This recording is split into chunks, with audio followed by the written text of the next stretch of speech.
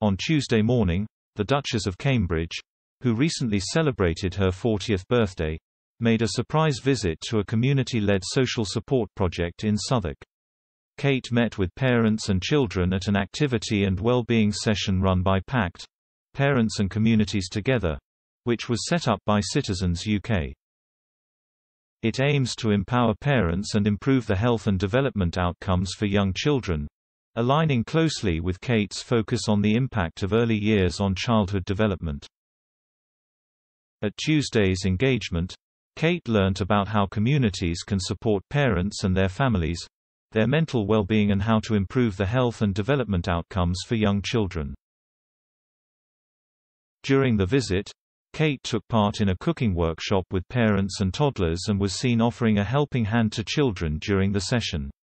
Kate joined the children in making fruit kebabs and helped Jonathan, who celebrates his second birthday today, February 8, chop a banana. The Duchess was also impressed by how many strawberries a little girl called Zoe managed to get into her mouth.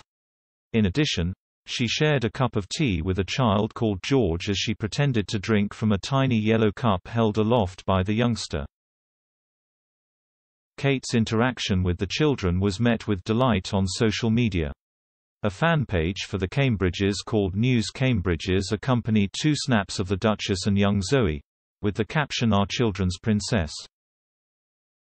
Another called Billy added, Duchess of Cambridge is a beautiful and classy lady on the inside and out. A third simply wrote Kuute, while another called Isabel added, Lovely royal lady. For the occasion, the Duchess opted for a casual business look, donning a smart check gray blazer with a black top and trousers cinched at the waist, and a matching belt.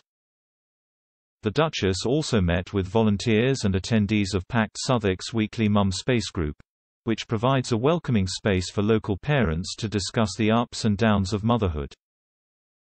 The Mum Space Playgroups are just one of a number of activities run by the organization to reach parents who might not otherwise have access to support. Kate also met a health visitor who regularly attends the group to provide advice and signposting to other services.